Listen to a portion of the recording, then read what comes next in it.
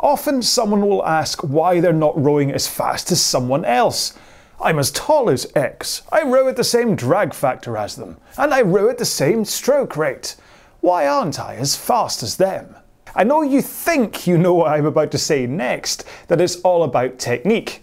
Well, you're right, but it's not just about technique. I've made enough videos about technique for this channel that I'm not going to go into the full spiel here. The short version, push, swing, pull, arms, swing, knees, is that you need to push with your legs, add in your back, and then finish with your arms. If you do that in any other order, you're losing power and you're going to row slower. But the truth is, you can row with the perfect textbook technique and still not be as fast as the next guy or gal. Here is Josh Dunkley Smith breaking the world record for a 2K. Look at the pace he's rowing at. Now I'm rowing alongside him with the best technique I can muster, at the same stroke rate as him. Look at my pace. What's the difference here then? Why aren't I rowing at the same speed as him? One word oomph. Concept 2s aren't linear resistance machines. They're not like stair machines, for example, where anyone who sets it to level 10 for 10 minutes will cover the same amount of steps. On a Concept 2, the more effort you put in, the faster you go. Now I'm going to continue to match Josh's stroke rate, but now I'm going to push harder with my legs. Take a look at how my pace increases. Now I'm going to really concentrate on a powerful finish with my arms, still not pulling from the front, but finishing powerfully. And this reveals another reason in the performance differences athletic ability. Or, to put it another way, he's a lot better rower than I am. I'm putting in everything to each stroke here at the same stroke rate as Josh, pushing as hard as I can with the legs, trying to maintain a good technique. And I'm still nowhere near his pace, even for just this short amount of time.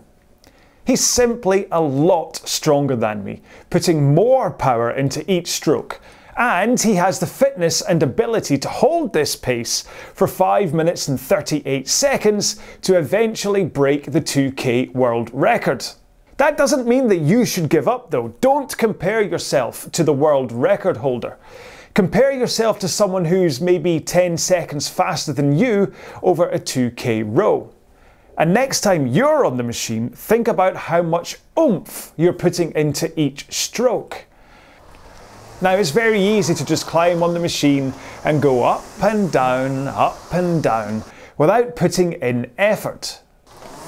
But the moment you start to add in some power from your legs, pushing into the machine with your feet, straight arms and a forward tilt, your stroke and pace comes alive.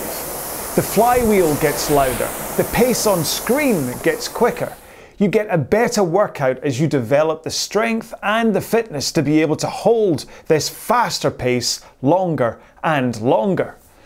Before you know it, the person who was 10 seconds faster than you is now dust in your rear view mirror, and you've got your sights on the next person in line.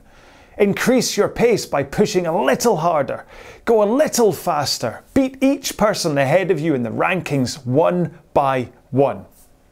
So that's how you go faster on the rowing machine.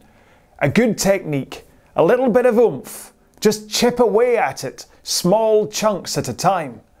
Don't just focus on a big goal like knocking two minutes off a 2K. Focus on taking four seconds off at a time. That's only one second per 500 meters in your row. Easy.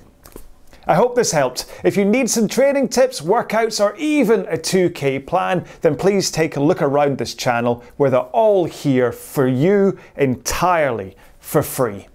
If you have any questions, please leave me a comment on this video and I'll hopefully see you in another of my videos. Take care, be well, bye bye.